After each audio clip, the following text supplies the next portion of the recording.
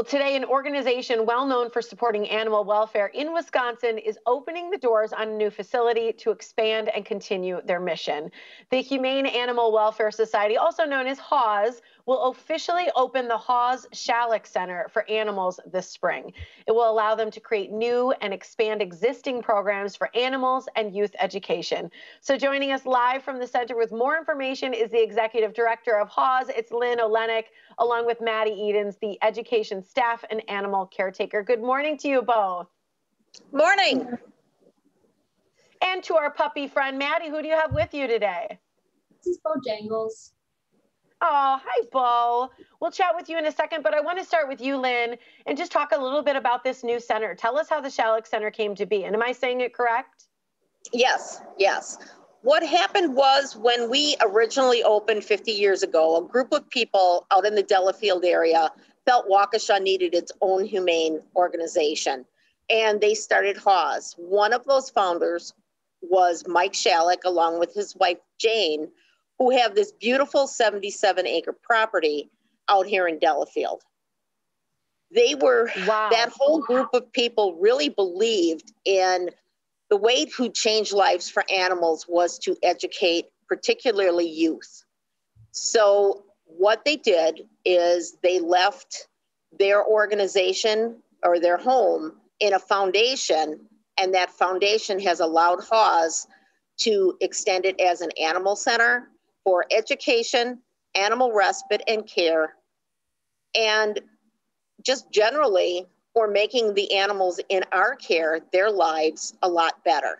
All that space for the animals. I mean, it just, it feels so much more natural when you look at it as even a viewer. So, talk a little bit about the education programs and the youth programs that you're able to expand by that using that space. Well, Madi, who's joining me today, started out with HAWS as a camper. Oh, when you were 11, maybe a long time ago. So, I guess from Madi's perspective, I'd like to have her comment about what she thinks this will add to our education program. She was first a camper, then a camp counselor, and now she's full staff at HAWS. Yeah, so um, a lot of the activities that the kids do teach us about um, Wisconsin wildlife, nature, litter, pollution, all those kinds of things. Um, and being out there and just having that environment to learn in, I think is super important. It will make those programs a lot more impactful. Um, and then you're also able to see the animals in a less stressful environment. Um, when we take dogs out to the Schallock Center, we see them um, kind of show them their true personalities more than we can see at the shelter. So I think it's really important for the kids to see that, um, and the kids will be able to interact with animals who are a lot more happy and are showing their um, their true personalities more. Madi, did you know as a kid that you wanted to always work with animals, or was really some of this instigated even through the education you received? Um, I always kind of knew, but learning about animals at HAWS really um, kind of expanded what I wanted to do. I learned a lot more about different animals, more than just cats and dogs, about exotic animals, reptiles, that kind of thing. So that kind of put me on the path that I'm on now. Um, and I'm really interested in reptiles and all of the small mammal exotics and those those type of animals as well now. So how how is the Schallock Center going to work? Because you said you know when we bring dogs out there, we can really see their true personality. Will will we as community members go to the Schallock Center, or will you invite people out there from other areas that HAWS has already?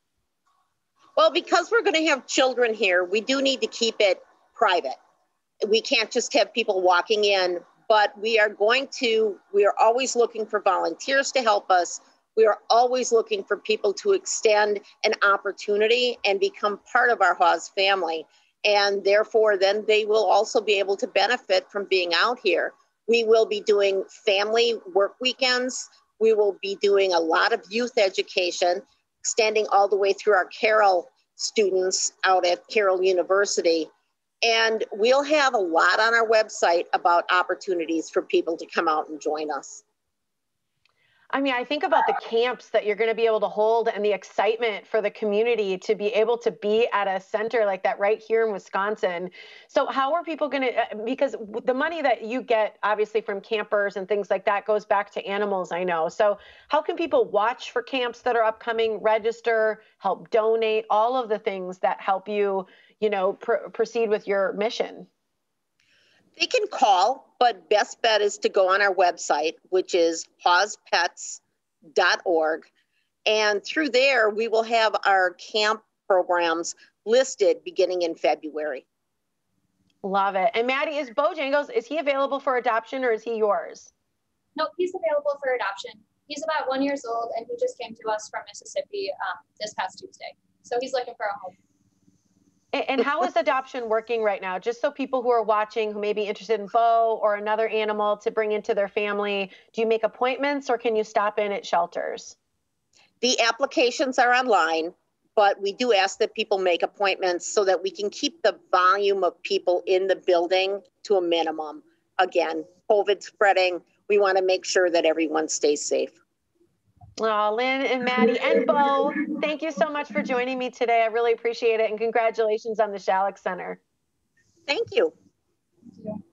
To learn more about the HAWS Schallock Center for Animals opening this spring, just go to the website. It's hawspets.org slash Schallock Center or give a call, uh, just as Lynn mentioned, at 262 542 8851.